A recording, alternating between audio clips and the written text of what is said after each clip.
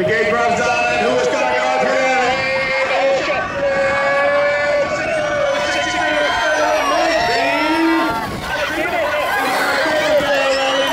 It's uh, 62, 62.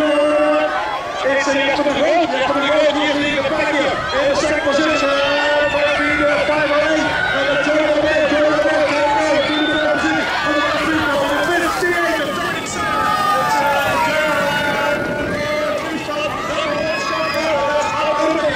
Two, right